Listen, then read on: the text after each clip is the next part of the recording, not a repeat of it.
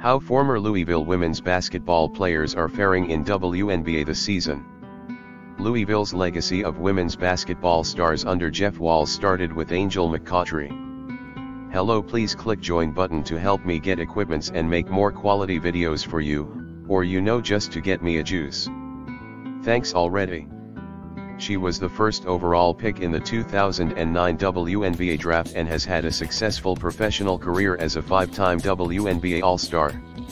Including her record-setting draft selection the Cardinals have had 15 players selected in the WNBA draft under Walz.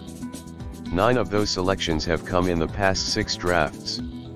Most recently Kiki Jefferson heard her name called going 31st to the Minnesota Lynx in this year's draft April 15 but Jefferson was waived by the squad and didn't make the season opening roster a month later. The Cardinals had representation when the season began though with four players on WNBA rosters. Here's how the former Cardinals are faring this season.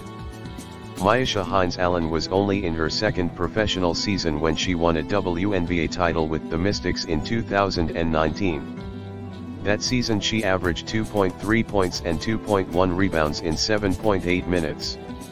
Now as one of the veterans on the squad Hines Allen leads the team in field goal percentage, 52.1%. She is contributing 8.4 points 4.7 rebounds and 2.5 assists per outing in 22 games played as a reserve. Now in her fourth year in the WNBA Dana Evans is averaging 8.3 points 3.2 assists and 1.3 rebounds per game starting in 12 of 20 games played this season. Although her scoring average is below last year's, 9 points per game in 2023, she's shooting at a higher clip from three-point range going from 29.4% in 2023 to a team high 36.2%. The Indiana native originally was selected by the Dallas Wings with the 13th pick in the 2021 WNBA draft. She was traded to the Sky after playing six games for the Wings and ended the season as a WNBA champion and member of the league's all-rookie team. Emily Engstler was one of Louisville's highest drafted players going fourth overall to the Indiana Fever in 2022. But the Fever waived Engstler prior to the 2023 season. She then signed a training camp contract with the Mystics but didn't make the final roster. The Minnesota Lynx signed the New York native to a hardship contract for a month before she was released.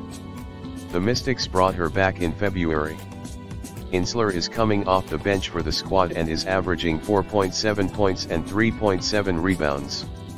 Liz Dixon went undrafted in 2023 and bounced between the Connecticut Sun and Phoenix Mercury on short-term contracts. Dixon had a similar experience this season, the Mercury waived her July 2nd. To satisfy the league's 11-player minimum requirement the squad then brought her back on a 7-day contract three days later. In 17 games this year she averaged 1.8 points and 2.4 rebounds per outing.